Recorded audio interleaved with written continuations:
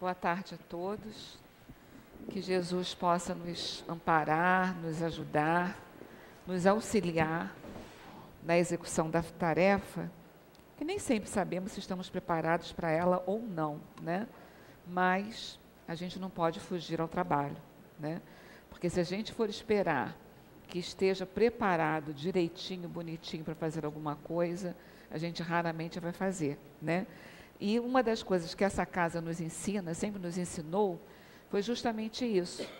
Né? Apesar das dificuldades que nós temos, apesar das inseguranças, do medo, né, de achar que não temos condições de fazer alguma coisa, e muitas vezes achamos que não temos mesmo, né? mas uma, casa, uma coisa que essa casa sempre nos ensinou, a enfrentar os desafios né, com a certeza do amparo divino em nossas vidas. Então, se o trabalho aparece, a gente faz o trabalho, né? rezando para que as coisas aconteçam da melhor maneira possível. Né? Bom, nós sempre é, buscamos saber, o homem tem por natureza buscar saber é, o novo, embora muitas vezes ele fuja do novo, mas ele tem a ânsia do conhecimento de procurar saber como as coisas acontecem. E nesses aspectos do universo, de vida em outros planetas, se existem outros, outros planetas é, dentro do, do nosso sistema solar ou fora do sistema solar, sempre foi a busca do homem. Ele sempre esteve de mãos dadas com a ciência, tentando buscar esse tipo de informação. Desde muito tempo, né, o homem é, estabelece programas, estabelece é, experimentos em que ele possa ser lançado a, a órbita, para órbitas de outros planetas, para buscar a existência de vida em outros locais. Né? Desde muito tempo, desde sempre, essa é a pesquisa do homem, essa é a tendência natural do homem. E Kardec, na Revista Espírita de março de 1858, num artigo que ele escreve, ele nos diz assim: quem não teria perguntado, considerando a Lua e outros astros, se esses globos são habitados?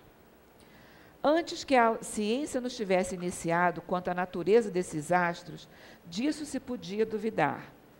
Hoje, no, no estado atual dos nossos conhecimentos, há pelo menos possibilidades.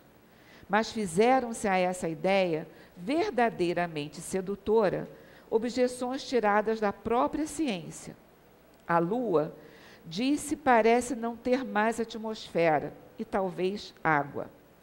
Em Mercúrio, tendo em vista a sua proximidade com o Sol, a temperatura média deve ser a do chumbo derretido. Em Saturno, não temos termos de comparação para o frio que nele deve reinar. Essa sempre foi a nossa especulação. A existência dos planetas que nós conhecemos, mas a possibilidade de vida nesses planetas. E continuando com, com o aspecto científico, em setembro de 1993, a revista Super Interessante dava como título uma seguinte matéria, a seguinte matéria: Espaço congestionado, descoberta de novos corpos celestes. E diz assim: cresce o número de corpos celestes que ninguém imaginava existirem entre os súditos do Rei Sol. Então a ciência foi pesquisando, ela vai avançando, ela vai ocupando os espaços que lhe são inerentes. O trabalho da pesquisa em busca da existência de outros planetas. Nessa mesma revista super interessante, em março de 1996, sai uma outra matéria com o seguinte título: Um monte de planetas muito longe do Sol. O planeta descoberto na constelação de Pegasus parece não ser o único em condições de ter vida fora da Terra, fora do sistema solar. Outros dois corpos celestes com as mesmas características foram identificados nas constelações de Virgem e Ursa Maior.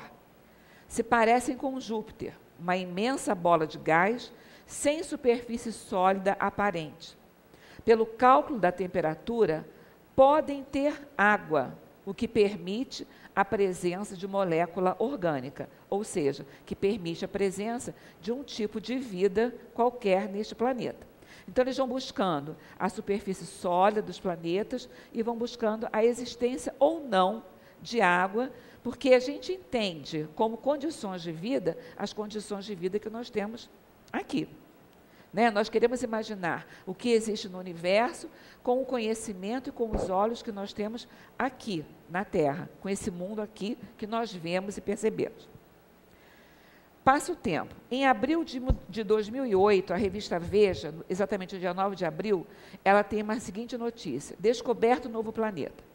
Cientistas espanhóis anunciaram a descoberta do menor planeta fora do sistema solar. De acordo com os pesquisadores do Conselho Superior de Pesquisas da Espanha, o feito significa um novo passo em busca de um planeta com as mesmas características da Terra e que também seria capaz de abrigar alguma forma de vida. O novo planeta possui a forma rochosa. Então a gente vai vendo que no decorrer, que no decorrer do trabalho científico, eles vão buscando se especializar cada vez mais, buscando informações mais detalhadas a respeito desses inúmeros planetas. E agora, passando para 2009, no dia 5 de fevereiro de 2009, também na revista Veja, encontramos a seguinte notícia: cientista estima vida inteligente em 38 mil planetas vida inteligente em 38 mil planetas. Cerca de 40 mil planetas são habitados por civilizações inteligentes, segundo o astrofísico da Universidade de Edimburgo. A descoberta dos mais de 330 planetas fora do nosso sistema solar ajudou a redefinir o possível número de planetas que são habitados por alguma forma de vida. Continuando, terminando já essa nossa pesquisa pequenininha aqui. O Estadão, o Jornal de São Paulo, agora no dia 16 de setembro de 2009, ele publicou o seguinte: astrônomos confirmaram a descoberta do primeiro planeta com terra firme fora do nosso sistema solar. Acreditam que para ter alguma forma de vida, um planeta com tal condições já é um avanço nas buscas. Então, eles já acharam um fora do nosso sistema solar com terra firme. No dia ontem, dia 25 de abril, ontem, de abril, perdão, setembro, ontem, no jornal é, da manhã, no jornal matutino da, da Rede Globo, Bom Dia Brasil, eles deram uma notícia de que acharam água na Lua. Encontraram água na Lua. E nos diz assim: a descoberta anima a comunidade científica, pode revelar mistérios sobre a vida fora da Terra. Então, a gente vai percebendo que com todo esse trabalho científico, eles estão buscando. Eles estão buscando conhecer alguma coisa que, a nível científico, ainda é um tanto quanto misterioso. Né? Eles vão atrás, eles vão buscando. Há muito tempo atrás, eu não me lembro quando, quando foi, né, e essa revista depois terminou, acho que ela mudou de nome, acho que era a revista Ciência e passou a ser Galileu, não sei se é, se é, se é isso ou não, foi publicada uma matéria que dizia assim, que após a análise da, do comportamento do universo, dos astros, de, todos, de todas as estrelas, de todas as galáxias, chegou-se à conclusão que para que tudo acontecesse da forma que acontece, para que todos os planetas tivessem comportamento, se expandisse ou não expandisse, acabasse ou não acabasse, acabasse uma estrela, não acabasse uma estrela, etc. e tal, para que tudo acontecesse dessa forma, deveria haver a presença de alguma substância, né, preenchendo esses espaços, mas que eles não sabiam que substância era essa. Isso eu acredito ter sido lá no final da década de 90, se não me falha muito a memória, tá? Final de 90, início da, da, dos, an dos anos 2000, por aí assim. Mas eu acho que foi mais na década de 90. Então, eles não sabem o que é. E continuam atrás dessa informação, que há pouco tempo saiu numa. Foi comentada uma matéria que saiu é, numa determinada revista sobre energia escura ele chamando de energia escura, essa alguma coisa que eles não conseguem identificar, que eles sabem que existe, mas não conseguem identificar. E diz assim essa matéria: misteriosa força que compõe até 70% do universo, o restante é matéria, se, e o faz expandir em velocidade acelerada, desafiando a gravidade. É um dos grandes enigmas cósmicos, um desafio para astrônomos e físicos. Segundo John Peoples, que é o cientista que está encarregado de fazer essa análise, ele diz o seguinte: a energia escura é uma propriedade do espaço vazio, do vácuo. É uma surpresa, ninguém esperava que existisse. Algo que podemos inferir, mas não sabemos exatamente o que é. Ora, a gente aprende lá nos bancos escolares que o vácuo, o espaço vazio é o vácuo, que o vácuo não tem nada. Como é que vai haver a propriedade de uma substância que é um nada? Qual é a propriedade do nada? Que, que seria isso? Foge a eles né, a, o conhecimento, talvez foge a eles o conhecimento, talvez o tenham e não, não queiram revelar este conhecimento por questões acadêmicas, por questões do meio científico, né? mas é, na maioria das vezes foge a eles o conhecimento dessa substância que para a gente é mais conhecido, né? que é o nosso fluido cósmico universal, que está preenchendo todos esses espaços. Não tem espaço vazio. O que nós chamamos, o que a ciência chama de vácuo, de espaço vazio, nós sabemos que está preenchido com essa substância, que toma uma forma tão etérea, que toma uma forma tão quintessenciada, que eles não conseguem analisar o que isso seja. Né? Então, eles não conseguem. Então, passa a ser a substância escura, né? a energia escura, que tem a propriedade do nada, que tem a propriedade do vácuo. Né? Se chama é, essa outra alguma coisa que eles não sabem o que é, mas que no seu conjunto consegue deixar este universo num equilíbrio desejável. Então, nós sabemos, nós não temos dúvida, a doutrina espírita traz para a gente o conhecimento de que esse espaço é preenchido por, outras, por essa substância. Que esses outros espaços que eles consideram vazios, existem outros planetas que ainda não foram descobertos, ainda não foram detectados, porque talvez o nosso conhecimento não chegue até lá. Se fosse chegar e colocar lá, né, com a clareza de Kardec, como Kardec coloca para a gente na revista Espírita, mas se fôssemos colocar para esse fórum científico, para esse meio científico, lá em 1800 e alguma coisa, né, que a Lua tinha água, né, que existia a vida fora da, do, do planeta Terra, que 38 mil planetas existem civilizações inteligentes. Certamente essa ciência taxaria a quem alegasse isso como louco. Porque não estava de acordo com o conhecimento que nós tínhamos na época, com o conhecimento existente da época. Então seriam taxados de loucos, né? iriam cair na mão da, da, da, da Inquisição. Né? Não está certo, a coisa está complicada aí. Porque é assim que a gente imagina. Não é verdade? No início do século passado, a gente poderia imaginar que nós teríamos um aparelhinho pequenininho, cada vez menor, e que você conseguisse falar com qualquer pessoa a qualquer momento de onde você estivesse? A gente conseguiria imaginar isso?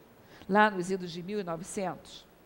Se alguém chegasse e dissesse assim: olha, lá em 2009, nós teremos um tipo de telefonia móvel nós poderíamos pegar um aparelho e falar com esse aparelho de todas as formas, em todos os momentos, em todos os lugares. Poderia-se imaginar que lá nos idos de 1900, nós poderíamos estar aqui agora, na casa de Leon Denis, fazendo um estudo, e esse estudo sendo transmitido por um meio de comunicação, que é a internet, para todos os pontos desse país ou desse globo, né, onde existem pessoas com possibilidade de acesso à internet, como os nossos companheiros estão nos acompanhando nesse momento? Nós poderíamos imaginar isso? De forma alguma. Então, o nosso conhecimento, ele vai ser, as revelações vão sendo trazidas ao nosso conhecimento na medida em que nós vamos tendo condições de analisar isso. E muitas vezes nós somos apresentados a essas, a essas evoluções tecnológicas que nos permitem esses conhecimentos através né, de filmes de ficção. Quando a gente pega lá, né, um seriado, por exemplo, Jornada nas Estrelas, lá daquela, daquelas primeiras séries, né, do início lá da, da, da, das primeiras séries, que a gente vê né, o Capitão Kirk pegando um, aparelhinho lá e falando lá em tremenda nave espacial, né, no, no espaço. O que, que, é aquilo? Aquilo não é um precursor de, do nosso telefone celular? Quando ele entregava aos seus companheiros um outro aparelhinho, né, um, objeto redondo, né? Quem tiver pode dar uma, dar uma olhada nessa, nessa série que é interessante. Um objeto redondo, pequenininho, entregando. Que não poderia ser o precursor de um CD? Ou de um DVD? Poderia ser.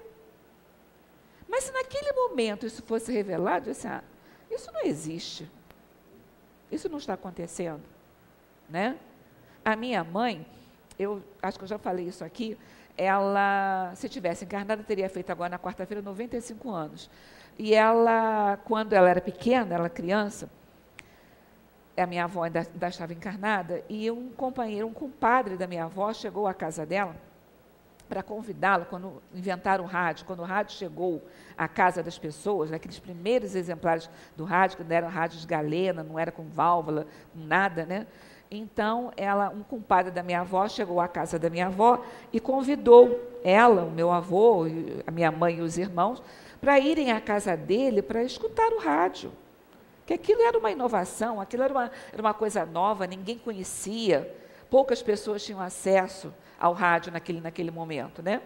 E a minha avó disse que sim, né? que certamente iria, mas muito católica, portuguesa, extremamente católica, né, que ela era, né? Aí quando saiu, todo mundo, é claro que as crianças ficaram empolgadas para poder chegar ali e escutar o rádio, né? E quando ela saiu, quando o compadre saiu, ela reuniu os filhos e falou assim, olha só, nós não vamos lá, porque isso não é coisa do bem, isso é coisa do mal. Porque uma caixinha de madeira, dizer que alguém está lá dentro da caixinha de madeira falando alguma coisa, isso não é coisa do bem, isso é coisa do mal. Então, a ideia que tinha naquele momento a respeito do rádio. Imagina ela, né, se estivesse no, meio, no nosso meio encarnado hoje em dia, a gente conversando pela, através da internet com pessoas de outros estados e de outros países. Coitada, ela certamente não iria resistir. Porque a, o nosso conhecimento, o nosso entendimento, ele vai evoluindo de acordo com o nosso conhecimento. Né? Então, o que Kardec colocou para a gente, o que a doutrina espírita coloca para a gente, desde sempre, nós estamos vendo que a ciência está chegando lá. Passo a passo, pouco a pouco, a ciência está chegando lá. Ela está conseguindo comprovar o que a doutrina espírita está conseguindo comprovar para o seu meio científico, o que a doutrina espírita já nos traz há muito tempo. Né? Agora, a parte disso, a parte dos mundos que nós sabemos que existem, né? a parte dos, dos, da, das vidas em outros planetas, porque nós poderíamos ser é, egoístas o, sufici o suficiente de achar que só no planeta Terra teria essa condição de vida. Né? E a gente se pergunta também, tá, tá bom, tá legal, tá, eu compreendo, eu aceito, eu consigo compreender a existência de vida em outro planeta. Mas como é que é essa vida? Como é que é a forma das pessoas? E mais uma vez a gente traz o nosso conhecimento daqui de encarnados, com as nossas limitações que, o, que a carne, que o corpo material nos impõe, com as limitações da visão que o corpo material nos impõe, do conhecimento que ele impõe, com esse conhecimento que nós temos aqui, que nós julgamos ser muitas vezes o suprassumo o melhor possível, nós queremos compreender aquilo que é não é palpável para a gente. Né? A gente quer compreender como é que é isso, porque nós temos a necessidade desse concreto. A criança não tem a necessidade, se a gente acompanhar a evolução de uma criança, ela não tem a necessidade de primeiro passar pelaquela fase do concreto, dela conhecer as coisas como elas são, para depois ela poder passar por uma fase de subjetividade, né, abstrar os conhecimentos. Ela tem esse conhecimento, ela tem essa necessidade. Né? Há, há uns dias atrás, uma sobrinha muito engraçado a gente conversando, e conversando entre família, aí comentamos assim, ah, porque fulano fala pelos cotovelos. Ela olhou para o baixo e falou assim, mas o meu cotovelo não tem boca. Por quê? Porque ela está na fase do concreto, então ela só consegue entender isso dessa forma. Como é que é falar pelo cotovelo se o cotovelo não tem boca? Ela não consegue abstrair essa noção. Né, de que falar pelo cotovelo é falar demais, é falar uma intensidade muito grande, falar sem parar. Então, nós, enquanto crianças espirituais, também temos essa, essa necessidade de comparar a vida fora do planeta Terra como a forma de vida que eu conheço. A forma que eu conheço né, dos espíritos mais elevados dentro dessa escala zoológica é a forma humana. Então, quem está habitando, o espírito que está habitando um outro planeta, ele tem a forma humana? Tem a doutrina espírita traz para a gente que a forma dos espíritos é sempre a forma humana. Ah, mas será que o perispírito dele é igual ao meu? Será que o perispírito é gordo, o perispírito é magro, o perispírito é assim, ou assado? Vai depender de quê? Do planeta onde aquele espírito estiver localizado. O próprio livro dos Espíritos traz aqui na pergunta na pergunta, na página, não, na pergunta 189, é 189, é. é ele traz uma, uma nota de, página, de pé de página que diz assim: segundo os espíritas, segundo os espíritos, todos os mundos que compõem o nosso sistema planetário, a Terra é um dos habitantes menos adiantados física e moralmente. Marte lhe estaria mais abaixo, sendo-lhe Júpiter superior de muito a todos, a todos os outros. Né? É, então, por aí a gente vê que a forma é a forma humanoide. Agora, o corpo, a maneira como esse corpo vai se apresentar, vai depender de quê? Do planeta onde ele estiver localizado. Né? Onde ele estiver localizado. Esse, esse corpo vai ser mais denso ou menos denso de acordo com o planeta em que ele estiver localizado. Mas a gente quer imaginar como seja. E, de repente, a gente quer imaginar um planeta mais suave, mais sutil e que, de preferência, a gente possa ir para lá direto. Né? Acabou a encarnação na Terra, olha, acabei, agora eu vou me dirigir, pelo menos, para um planeta onde eu tenha uma condição de vida um pouco melhor. Eu quero um planeta melhor, eu não quero um planeta é, igual ao da Terra. Né? Mas o que, que eu estou fazendo para merecer esse planeta melhor, igual ao da Terra? Ou pelo menos nas condições em que a Terra está se modificando, né? nas condições em que a Terra vai ficar daqui a alguns anos. O que, que eu estou fazendo? Há muitas moradas na casa de meu pai, mas eu quero qualquer morada para mim? Falando com sinceridade, perguntando lá dentro do coraçãozinho da gente, eu quero qualquer morada para mim? Será que eu quero regredir? Né? A gente sabe que o espírito não anda para trás. Mas será que, eu, será que eu aguentaria alguma coisa assim? Certamente eu não aguentaria. Se eu vou merecer, eu não sei. Mas que certamente eu não aguentaria, eu acho que eu não aguentaria. Né? Às vezes a gente passando pela cidade, pelas ruas, passando pelas comunidades mais carentes, e que a gente vê que existe uma condição de vida tão precária, uma condição de vida tão difícil, uma condição de vida tão com tanta luta, com tanta coisa, né? Uma vez eu me peguei pensando assim, digo, ah, Senhor, eu não me incomodo de voltar como professor na próxima encarnação outra vez, não. Pode me mandar, posso dar aula de manhã, de tarde, de noite, como eu fiz durante muito tempo na minha vida, enquanto eu estava trabalhando. Dava aula, de sete da manhã até as onze da noite. Eu não me incomodo de dar aula de novo. Mas, pelo amor de Deus, não me coloque numa condição de vida igual a desses irmãos que eu estou é, observando aqui agora. Né? O que, que é isso? O que, que, eu, que, que eu pensei? No momento em que eu pensei isso, o que, que eu pensei? Senhor, eu estava fazendo uma troca. Claramente estava fazendo uma troca. Não me incomodo, estou te dizendo que eu não me incomodo de trabalhar. Talvez não com essa entonação que eu estou dando agora, né? Mas eu estou lhe dizendo que eu não me incomodo de trabalhar. Pode mandar eu trabalhar nos locais mais distantes possíveis, trabalhar o dia inteiro, sábado, domingo, feriado, eu não me incomodo. Mas não me coloca nessa condição de vida, que vai ser difícil. Né? Na realidade, eu estava pensando que eu estava pensando em fazer uma troca. Era pura. Se a gente for analisar friamente, é isso, né? Por quê? Porque no fundo, no fundo, no fundo, nós queremos sempre alguma coisa melhor do que aquilo que a gente tem nesse momento. E aí é que é a grande questão. O que que eu estou fazendo para obter essa coisa melhor?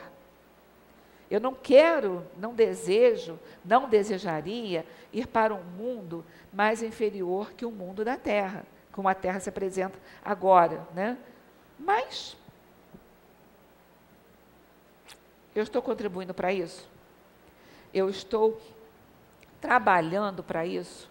Né? Em todos os sentidos, no sentido maior e no sentido menor. Naqueles, naquelas situações em que só eu tomo conhecimento, mas ninguém toma conhecimento. Naquelas situações que, à frente do mundo, eu estou esboçando sempre o sorriso, sempre a palavra amiga, sempre a conversa fraterna, mas naquele momento em que eu estou sozinha comigo mesmo, será que eu sou tão fraterna assim quanto eu quero me expor diante do mundo? Será que o meu sorriso é franco, é um sorriso largo, como eu apresento diante do mundo? Ou será que eu tenho lá as minhas questões e que eu não, não gostaria de sorrir tanto quanto, quanto eu sorrio? A gente tem que se perguntar. A gente tem que se indagar. Né? Porque a gente precisa entrar em contato com essas mazelas que nós temos enquanto estamos a caminho, enquanto estamos trabalhando. Eu preciso entender que eu tenho determinadas coisas que não me agradam, mas que fazem parte de mim, e que eu preciso trabalhar se eu quiser alguma coisa melhor. Né? No Evangelho, aqui na, na, no capítulo que ele nos fala sobre as diferentes moradas na casa do Pai, meu evangelho está tá virando fascículo. Está tá se despencando, coitado. Também, já caiu até a primeira página, acho que é de 1990, está tão velhinho. Diz assim, lá no capítulo que nos fala sobre há muitas moradas na casa do meu pai. Na instrução dos espíritos, no item 8, tem um pedaço que ele vem fazendo a comparação, os espíritos vêm fazendo a comparação da Terra com os outros planetas. Então ele diz assim: Tomada a Terra por termo de comparação, pode-se fazer ideia do estado de um mundo inferior, supondo seus habitantes na condição de raças selvagens ou das nações bárbaras que ainda entre nós se encontram, restos do estado primitivo do nosso orbe. Nos mais atrasados, nos planetas mais atrasados do que a Terra, né, são de certo modo rudimentares os seres que os habitam. Revestem a forma humana, mas sem nenhuma beleza. Seus instintos não têm a abrandá-los qualquer sentimento de delicadeza ou de benevolência, nem as noções do justo e do injusto. A força bruta é entre eles a única lei carentes de indústrias e de invenções, passam a vida, a vida na conquista de alimentos. Deus, entretanto, a nenhuma das suas criaturas abandona. Então, considerando um planeta mais inferior, dentro do nosso sistema solar, fora do nosso sistema solar, em outra galáxia, onde quer que seja, não sabemos. Né? Não temos ideia, mas temos ideia de como se apresenta o mundo nos, plane nos planetas mais que apresentam a vida em condições morais mais inferiores. Mais à frente, ele nos fala sobre os mundos é, superiores ao à Terra. Aí ele diz assim: nos mundos que chegaram ao grau superior, as condições da vida moral e material são muitíssimo diversas da vida aqui na Terra. Como por toda parte a forma, a forma corpórea, aí é sempre a humana, mais embelezada, aperfeiçoada e, sobretudo, purificada. O corpo nada tem de materialidade terrestre e não está, conseguintemente, sujeito às necessidades, nem às doenças ou deteriorações que a predominância da matéria provoca mas apurados os sentidos, são aptos a percepções a que neste mundo a grosseria da matéria obsta. A leveza específica do corpo permite locomoção rápida e fácil, em vez de se arrastar penosamente pelo solo, desliza, a bem dizer, pela superfície ou plana na atmosfera. Não é o que a gente quer. Já pensou que beleza a gente não ter mais engarrafamento, não ter que enfrentar engarrafamento? não tem engarrafamento na manhã, não tem engarrafamento no final do dia, né? A gente não quer isso. Imagina você ter um corpo e que não fica tão ligado às condições de saúde, de modo que as doenças que incomodam a gente apareçam. Não é muito bom? Né? Nada de gastrite, nada de, de, de apendicite, nada de diabetes, nada de problemas cardíacos, nada de nada. Não é muito bom? Não é? Eu acho ótimo, né? Eu acharia ótimo. Agora, eu tenho que fazer por onde ir para lá. Eu não posso ficar com o meu pensamento terra a terra, com esse meu pensamento egoístico, né? Do que primeiro eu, depois eu, terceiro lugar eu, em, em, quarto lugar aí vem a minha família, em quinto lugar vem a família indireta, aí em sexto vem não sei o que lá, aí em sétimo vem o vizinho mais próximo, em oitavo vem o, o vizinho da porta seguinte. Não é assim que a gente pensa? Não é assim que a gente analisa? Os nossos filhos são os amores. Os filhos dos vizinhos são terríveis. Aprontam todas. Né? O meu filho, coitado, ele é um pouquinho levado só. Né? Agora, o filho do vizinho é um horror. Sabe? Ele consegue desvirtuar a companhia de todas as, as outras pessoas. Mas o meu filho está lá junto com dele. Mas o meu não, o meu é bonzinho. A gente pensa assim. Por isso que a gente precisa, né, para que a gente possa ter esse amor universal, né, que vai mudar a característica desses planetas que nós vivemos, é por isso que eu preciso né, de ter, a reencarnação nos mostra isso, eu preciso de estar uma hora num grupo, outra hora no outro grupo, e recebendo nesse meu grupo familiar, que eu vou amar incondicionalmente, seja de que maneira for, eu vou amar incondicionalmente, eu preciso ter aquele parente complicado. Eu preciso ter aquele irmão que me dá preocupação o tempo todo. Eu preciso ter aquele filho que precisa do meu amparo, da minha ajuda por muito tempo na vida dele. Né? Eu preciso da sogra, eu preciso do sogro, eu preciso do cunhado, eu preciso do patrão, daquele patrão que pega no meu pé, que cobra o meu pé. Eu preciso disso tudo. Mas enquanto essas pessoas estão na figura do patrão, do vizinho, do amigo, daquela pessoa que a gente convive socialmente, fica um pouco complicado da gente desculpar muitas vezes, compreender muitas vezes e muito pior, muito mais difícil ainda, a gente amar numa condição incondicional. Mas a gente ama o da gente. A gente ama a família da gente. A gente ama as pessoas que estão à nossa volta. Então, por isso que nós precisamos, através da reencarnação, receber esses espíritos que não são os mais caros afetos que nós possamos ter, para aprender a amá-los. Se nessa encarnação eu recebi como marido, ou como filho, ou como sogro, ou, ou como irmão, né? ou irmã, seja lá que, que posição foi, né? eu recebi uma, um espírito difícil, e eu dou conta desse meu recado do espírito difícil, eu consigo orientar, eu preciso, eu consigo conduzir a vida, eu consigo amar, eu consigo perdoar. Né? Se nessa encarnação eu recebi um e eu consegui realmente fazer isso, é mais uma alma querida que eu tenho ao meu lado ao longo das minhas múltiplas encarnações, das inúmeras encarnações que eu terei pela frente. Se hoje eu tenho uma alma querida ao meu lado, se eu tenho um grande afeto ao meu lado, que me ajuda, que é companheiro, que entende, que compreende, que ama e que perdoa, certamente eu também já, poder, já poderei ter estado com ela em outros momentos em que essa alma não foi tão querida, tão amada desse jeito. Mas eu aprendi a amar.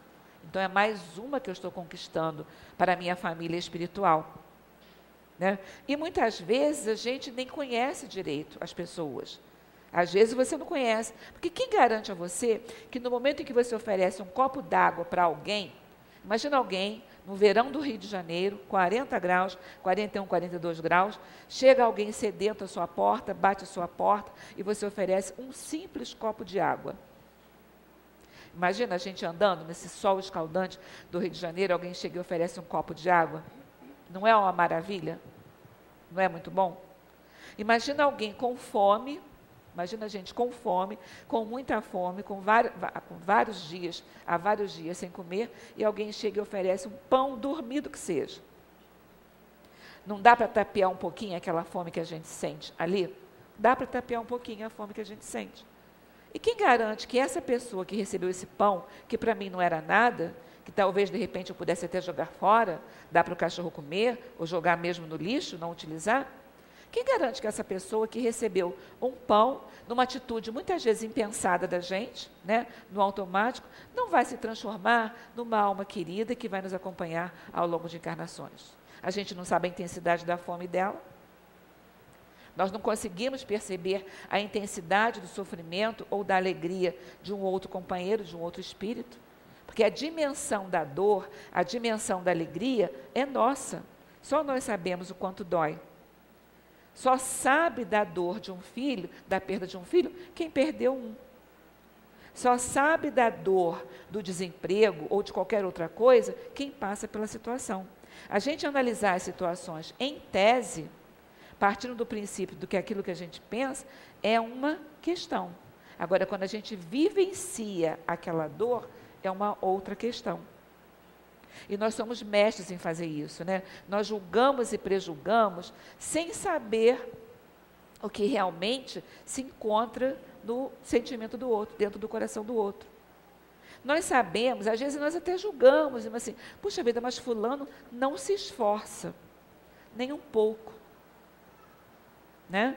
Aí lembrando de uma companheira da casa, uma vez que ela, ela, ela conversando, e ela, alguém chegou para ela e disse que ela estava se esforçando pouco, que ela tinha que se esforçar mais, né?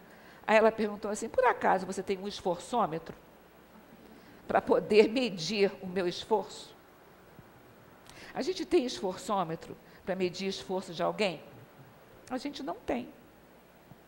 De repente, a pessoa que vem uma vez por semana à casa espírita, para ela vir uma vez por semana a uma única reunião, para ela é um esforço muito grande. Ela tem que driblar muitas coisas, ela tem que passar por cima de várias situações para chegar naquele dia, naquele horário, né? estar ali só naquele horário. Às vezes ela não tem condições de fazer diferente, por razões que nós nos conhecemos e que não nos cabe conhecer, a não ser que a pessoa queira revelar. Né? Mas nós temos esse hábito de prejulgar o próximo, de prejulgar o outro. Né? E aí fica um pouquinho complicado, fica um pouquinho difícil para a gente. Para a gente garantir, para a gente poder galgar né, esses mundos superiores numa próxima encarnação. Então eu tenho que preparar aqui, eu tenho que preparar agora. Não dá para pre preparar depois. Não dá para deixar para amanhã. E se não houver amanhã? A gente tem certeza que amanhã todos nós estaremos aqui? Ninguém tem certeza. Nós não temos certeza o que será da nossa vida daqui a um segundo, daqui a um minuto. Nós temos planos, né? Olha, eu vou à casa de Leão Denis, a hora que eu sair de lá eu vou fazer isso, eu vou fazer aquilo, eu vou fazer aquilo outro. Mas será que eu vou fazer isso mesmo? A gente tem planos para isso? Planos tem, mas tem certeza de que vai acontecer assim? Não tem certeza. Então, vou deixar, amanhã eu vou fazer isso. Mas será que vai haver amanhã? Não estou desejando que não tenha, não. Pelo contrário, quero amanhã, depois de amanhã, semana que vem, mês que vem, ano que vem, e muitas décadas pela frente, para todos nós. Né? Mas a gente para para pensar nisso? Não. Né? E quantas pessoas a gente tem conhecimento, quantos amigos nós temos conhecimento né, de que estão bem numa hora e no dia seguinte, na hora seguinte ou no dia seguinte estão desencarnados? Né? E a gente fica pensando, ah, mas eu podia ter feito assim, mas eu podia ter feito assado, mas eu podia ter falado isso, eu podia ter falado aquilo outro, né? Não pensa? Eu penso. Eu penso muito nisso. Eu poderia ter passado, poderia ter falado isso, poderia ter falado outra coisa, né? Mas eu pensei que tivesse amanhã. Eu fui me deixando levar pela rotina do meu dia a dia, pelas coisas que eu tenho que fazer. Não, eu tenho que fazer isso que é importante, eu tenho que fazer aquilo outro que é importante, eu tenho que fazer mais isso que é importante. Mas eu dizer para o meu amigo que eu o amo também é importante. Eu dedicar ao meu amigo um minuto, dois minutos, três minutos, um, um, algumas horas, para eu ouvir o que ele tem, que está incomodando, que está doendo a alma dele, também é importante. Né? Eu chegar para o meu amigo e dizer: olha só, qualquer coisa que você precise, eu estou aqui do teu lado. Tenha essa certeza que eu estou do teu lado. Você tem essa certeza que eu estou do teu lado. Isso também é importante. E gradativamente, na medida em que a gente vai é, analisando mais o nosso comportamento enquanto ser humano, enquanto seres nesse planeta, a gente vai percebendo que muita coisa a gente deixa escapar pelos dedos. Aquilo vai escapando pelo, pelo nosso dedo. Né? Vai passando, como se fosse a água escoando mesmo. E são as oportunidades que a gente deixa escapar, que a gente deixa passar. Não é verdade? Então, que a gente possa parar para pensar nisso, para gente, que a gente possa parar para pensar, para analisar todas essas, essas questões. Não temos dúvida alguma das diversas moradas da casa do Pai. Não temos dúvida alguma de que existem vidas em outros planetas. Nós não temos essa dúvida. Ou se temos ainda, temos um vasto material nas nossas mãos para que nós possamos estudar, para que nós possamos analisar, para que nós possamos pesquisar né? e comparar o conhecimento científico, aliado ao conhecimento que a doutrina espírita nos traz, para chegar a essa conclusão de que realmente não temos essa dúvida. Existem diversas moradas na casa do Pai. O Pai não abandona nenhum de nós. Todos nós estamos sob o seu amparo. Todos nós estamos sob o seu amor, sob a proteção do seu amor. Ele não nos deixa ao relento. Ele não nos larga ao relento. Ele não nos deixa com fome, ele não nos deixa com sede, ele não nos deixa sem amor, ele não nos deixa em hipótese alguma, seja qual for o ato que tenhamos cometido. Ele jamais terá um dedo apontando para a gente, dizendo, você fez isso. Você agiu desta forma. Você agiu com falta de amor e falta de fraternidade. Ele jamais vai fazer isso. Ele jamais fará isso conosco. Você não cumpriu a tua parte. Você recebeu como dom divino um corpo para poder dar conta, na encarnação, de tarefas que você assumiu junto ao plano espiritual. E agora você retorna e você não fez isso. Ele não faz isso com nenhum de nós. Então, com que direito nós nos, nos achamos, né, em Buda, com que direito de chegar para outro e dizer: você está se esforçando pouco, você não está agindo de uma forma, você não está agindo de outra forma. Eu estou agindo como eu estou cobrando do meu amigo lá, do meu semelhante lá? Será que eu estou agindo? Às vezes, às vezes não, muitas vezes, né? A gente se pega dando aquelas escorra, aqueles escorregos, né? Na, na, nas reações da gente, né? na, no pensamento da gente, às vezes não na reação, mas no pensamento. Eu estou sorrindo, mas lá dentro eu estou pensando de maneira diferente. Então, às vezes a gente se pega falando isso e diz assim: meu Deus do céu, vou me enfiar embaixo da mesa porque o meu pensamento está meio complicado de eu encarar o meu pensamento. Não é verdade?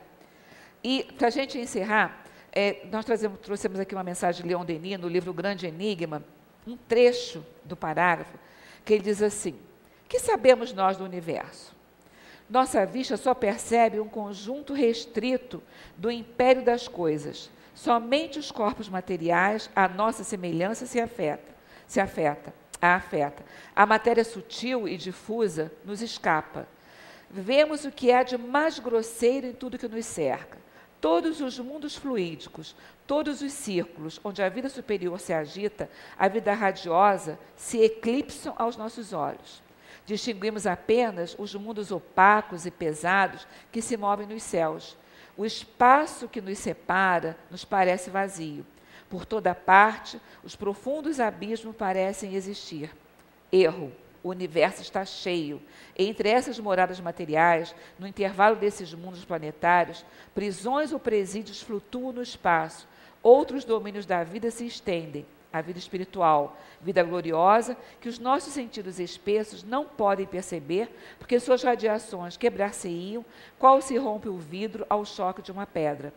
A sábia natureza limitou nossas percepções e nossas sensações, e degrau a degrau, é degrau a degrau que ela nos conduz ao caminho do saber. É lentamente, trecho por trecho, vida após vida, que ela nos leva ao conhecimento do universo seja visível, seja oculto. O ser sobe um a um os degraus da escadaria gigante que conduz a Deus, e cada um desses degraus representa para o ser uma longa série de séculos. Se os mundos celestes nos aparecessem de repente, sem véus, em toda a sua glória, ficaríamos aturdidos, cegos. Mas nossos sentidos exteriores foram medidos e limitados. Eles avultam e se apuram à medida que o ser se eleva na escala da existência e dos aperfeiçoamentos. O mesmo se dá com o conhecimento, a possessão das leis morais. O universo se desvenda aos nossos olhos à proporção que a nossa capacidade de compreender as suas leis se desenvolve e engrandece. Lenta é a incubação das almas sob a luz divina.